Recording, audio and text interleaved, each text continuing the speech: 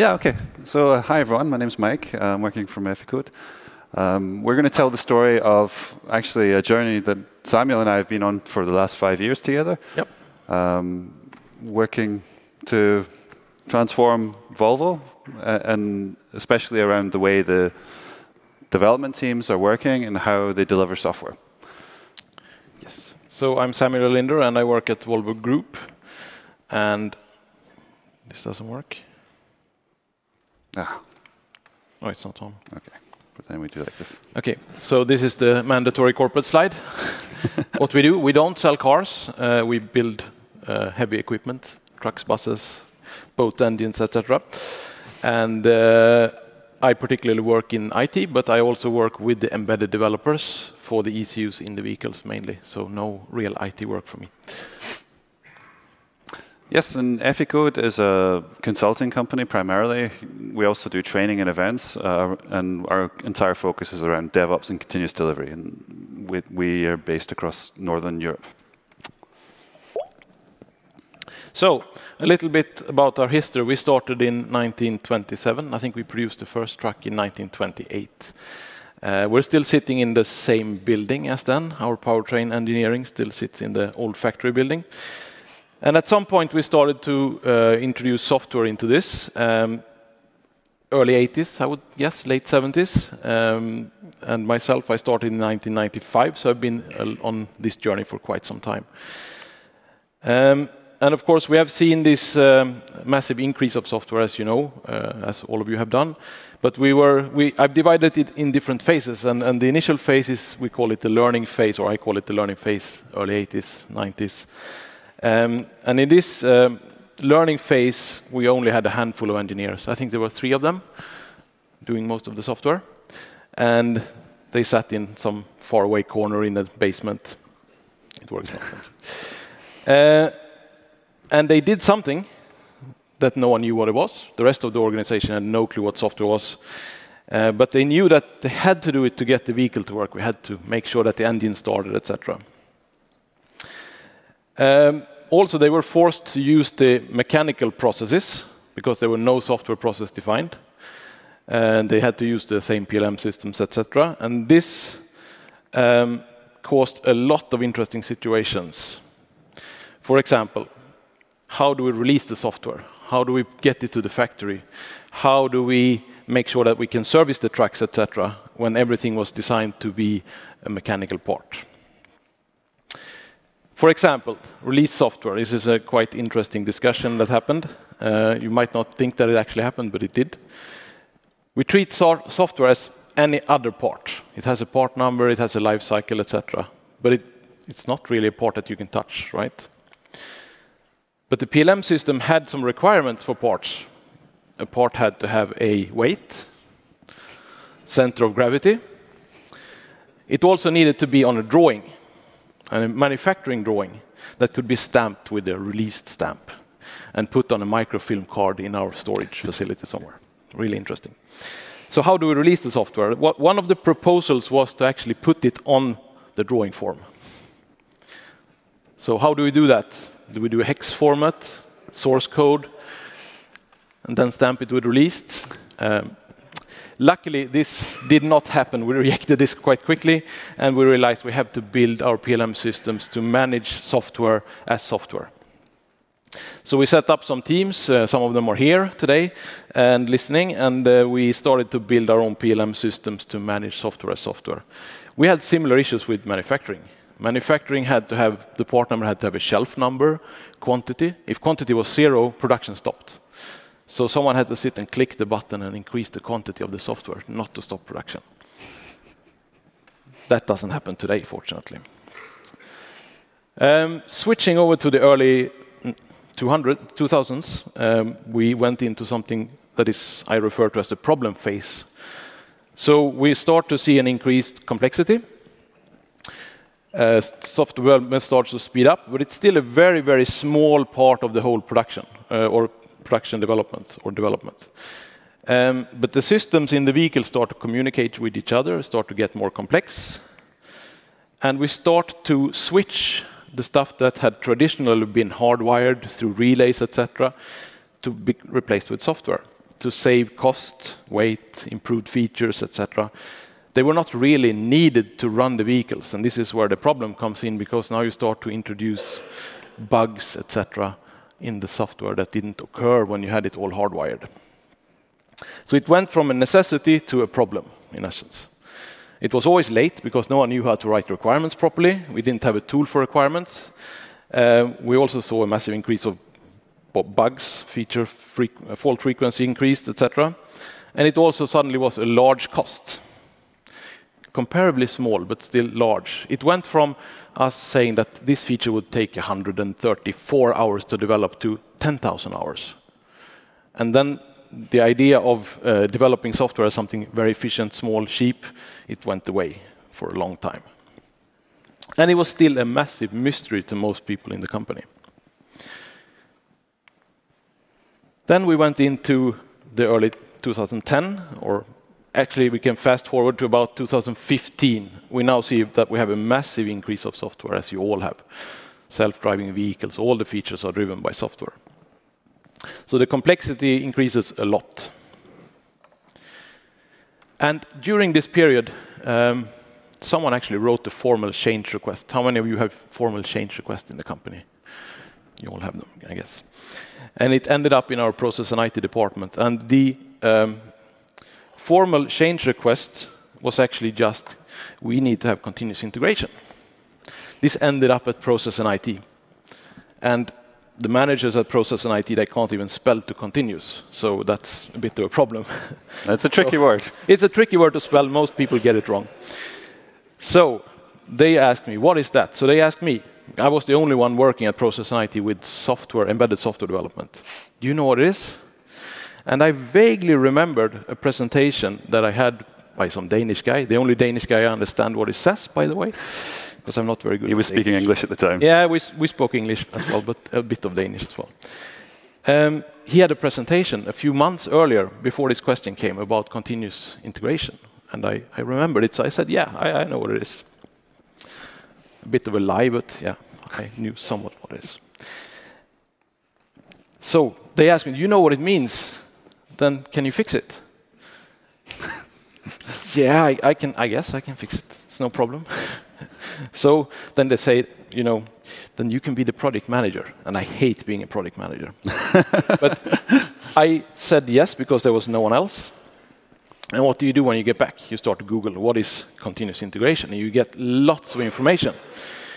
But I start to Google what is continuous integration for embedded C, and you get nothing. There was no information about it. So I thought, I'm in trouble. I said I knew what it was, but I, I have no clue. But then I actually found the business card from this nice Danish guy, and I, I gave him a call to get some help. And he came and made an amazing lightning presentation for us and for the software developers, and they were like a hallelujah moment, like, we need to have this guy, we need to have them uh, in. And we signed an agreement to, uh, to start to work together, and uh, I guess then he called you. Yes, so uh, the Danish guy is actually my business partner, Lars. Uh, he's in Den Denmark, but I'm in Oslo.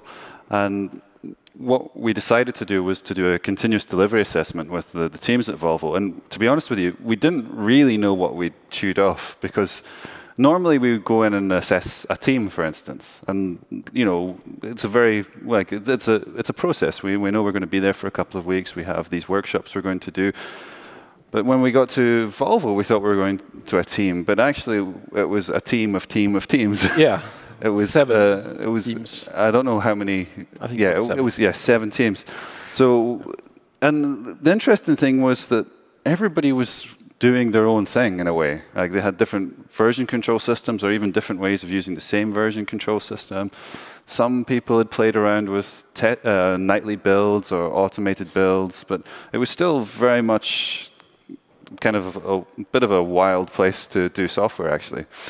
Um, so you know, we, we, we went in, we we worked with the teams, and the first thing we do is something called value stream mapping, where we, we look at how software actually gets delivered in the organization from there being a need to being running and delivering value to a customer.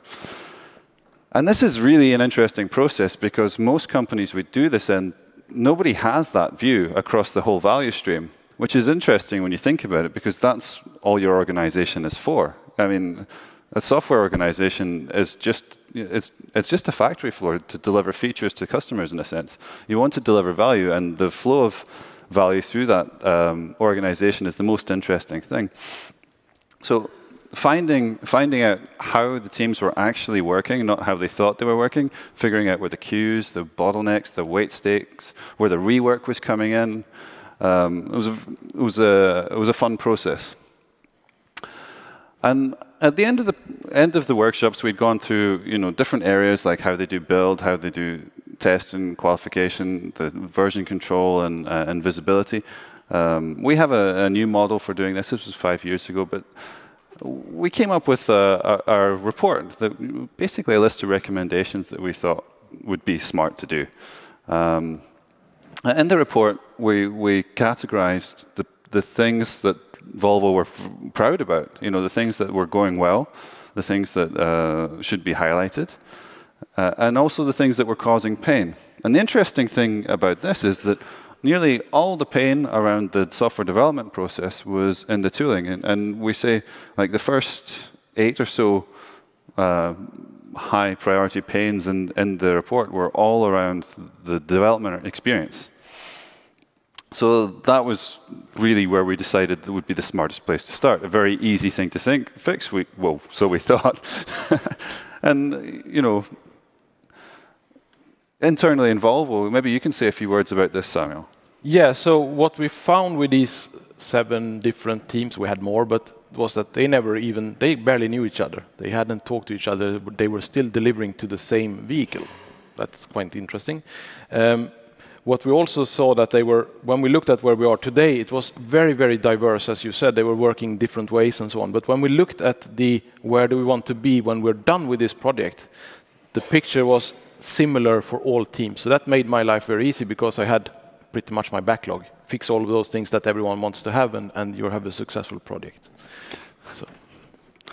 And actually, this is quite an interesting thing because it's uh, it's one thing for us to come in and make a lot of recommendations as consultants and outsiders, but to be able to turn the the report and say, okay, based on what we've learned from from this whole process, this is what we want to do. This is this is this is this is our roadmap in the end. And from, from the report, we said that you know, we believe that establishing a common R&D IT infrastructure that could be the foundation for teams would be you know, a smart thing to do. It would help you know, help the teams work together, share experiences more, break down the silos, and also, you know, just generally improve the efficiency of the teams.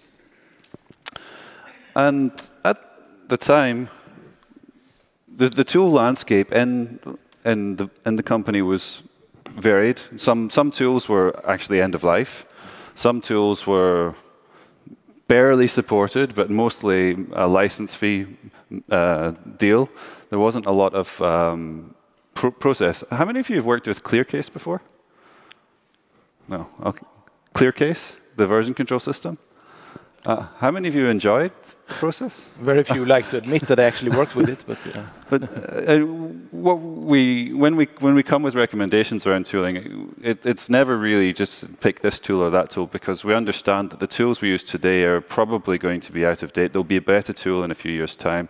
So when we select tools, what we want to do is think about um, where we can use open standards. Uh, for, for instance, um, version control. I mean, even five years ago, it was obvious that the right solution for version control would be Git. There wasn't anything else that was like this was where all of the development community was. This is what everyone was learning at university. This is what every other company was doing. It makes sense to use Git. Just use Git. There's no reason to do that. Anything else. Uh, when it came to you know the other tools, Jenkins, Artifactory, Jira, Confluence, they kind of made sense at the time. But each of these tools are actually quite easily replaceable too, and that was a, a, an important uh, part of that, that choice. So this is where we started five years ago, uh, and getting all the teams uh, into this world uh, was a process of coaching, was a process of taking time, because in the end, this is, just like in the last presentation, in the end, it's the teams that need to run their own process, need to run their own value stream, they need to own the whole value stream. So uh, in, in the end, there isn't somebody, there isn't a DevOps team making the pipelines for these teams. They're, they're, they're all autonomous. So over time, you know, more and more tools came into the landscape. It became more important to, like, for instance, with Git, we, we have Bitbucket, but there's also GitHub and GitLab, and probably next year there'll be Azure or who knows? Who knows? But at least the at least the, the landscape's changing. It's a very fluid thing, but always it's getting to better tooling for the developers, which is also a good thing for uh, for morale in, in, a sense. It keeps people in the, in, in the team if they're having a good time with the tools that they're using.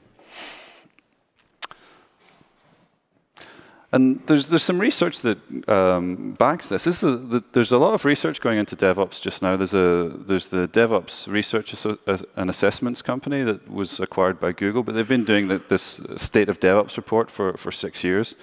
Uh, and they do a lot of, they basically do a lot of scientific research into uh, DevOps practices and their effect on businesses.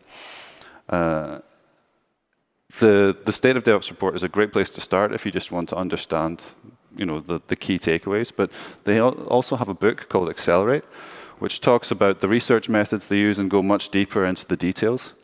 So I, I really recommend it. And one of the things they found is that uh, software delivery performance and continuous delivery drives organizational performance. Basically, there's a, a causal link. Like team organizations that tend to do well financially also tend to have good software delivery performance. Uh, and they also found that culture matters a lot as well. Culture is predictive of your organizational performance. Well, what was less intuitive was that they found that continuous delivery or the, the, the tools and mindsets around continuous delivery can drive culture. So what they say is that investments in technology are also investments in people. So, where are we today? We, I call this the revolution phase because, as Mike said, you, in the previous slide, there was a lot of uh, research that tell us that we need to change. We need to be more efficient to be able to deliver self-driving vehicles. We know complexity is going to be massive, and we're, we're not able to handle that if we don't change. And we saw that we could only go so far with the current processes and things that we had. We had to make some sort of revolution. Um, we saw that the pressure on the CI teams and my team and, and Peter's team, we will talk later, and they, it's so high. We get so much requirement. Our, our, it doesn't matter. We can't find enough engineers, by the way. So our backlog is just growing, and growing, and growing, and we have more teams coming in. And suddenly, everyone should develop software, and they're not software engineers. They should be T-shaped persons. They should be able to do anything, all of them. So now we have a lot of engineers that are not the skilled three guys in the basement, but suddenly they are people who have written requirements and documents suddenly should write code. That, that is a big, big challenge. And, and to be able to manage that, we need to work in a completely different way. And we started on the IT tooling side in this way, and we, we decided not to go for SAFe like the rest of the organization, because we thought that just putting new titles on the same persons doesn't really change the way that we develop. We need to do something different. We need, we need to have continuous everything. We need to do everything automated, and we need to find new ways of working with this. We need to have cross-organization collaboration. We don't care about if you're on IT or if you're in business side. If you want to write a tool that you need for your development, you should be able to write it. One of, our, one of the three guys in the basement still works in our organization. He, he once was told that you shouldn't work with writing code because you're not an IT. And he said that it's the same thing as cutting off my arms and legs and threw me in the swimming pool and tell me to swim. I need to write code. So we need to be able to get, I mean, break down the silos and the pipes and start to work cross commodities and don't care about who's your manager and where is the budget and so on. We need to be able to change the view on the IT parts and not see it as a cost. IT should not be a cost. It's part of the value stream. So to support the engineers that develop the products, that's part of the value stream. You're also part of the value stream. And this is quite a hard transformation to do. And to do that, you need to really build it from bottom up. And we're in Sweden, we're quite good at not doing what our managers tells us. so we're quite good at revolution. So it, it's easier for us than maybe some other countries. So we have to remove the control from above uh, and be able to do and deliver what we need to do. And we need to trust the engineers because they know what they're doing, I hope. And they can do great things if we allow them to do it.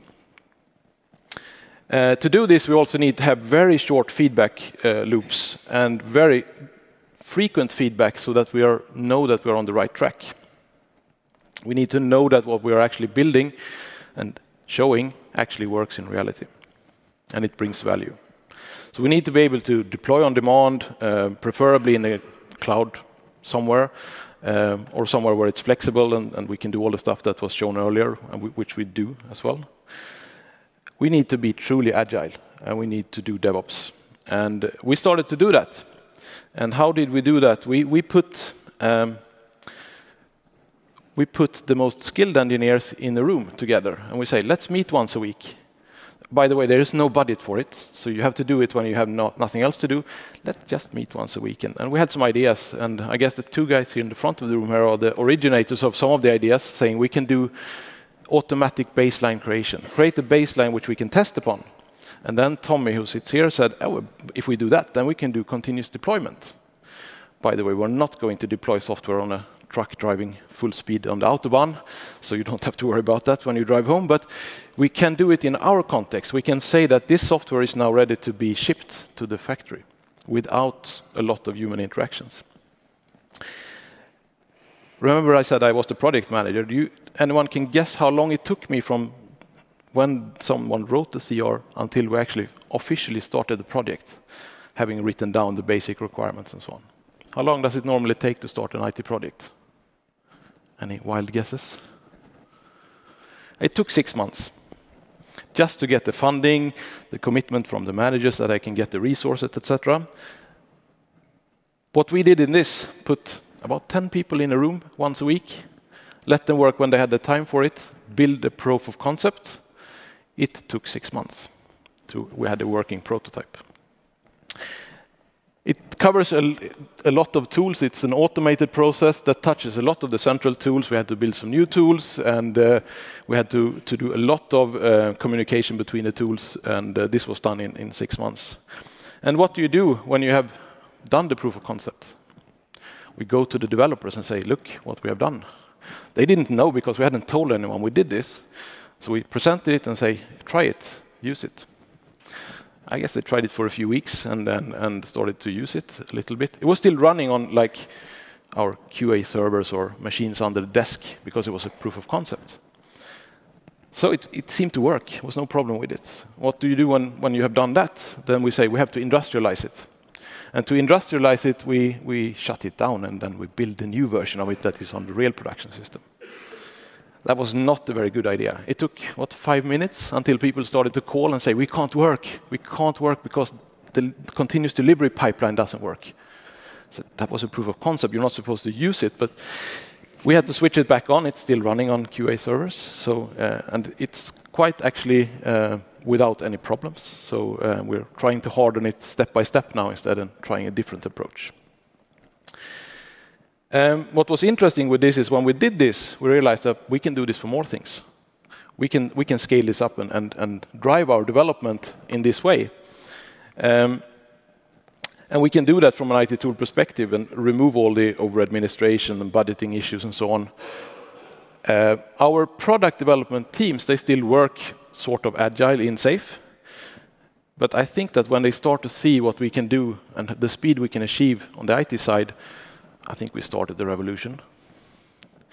So my, I mean, this has been a very good experience for us, for me, and uh, working together with Mike. But what I want to, to say in the end of this is that uh, you don't have to have a lot of people to start a revolution. It's only a handful of persons in a, in a room, if you have the right persons. But also, if you need it, call Mike and get help, because it's really valuable to get someone from the outside that understands or have a different perspective on your organization and how it actually performs. You get very, you get your blindfolds on and you only see what you do and have done for the last 10 years. Someone else comes in with a different perspective, you can really start to change and, and make a revolution. So, thank you.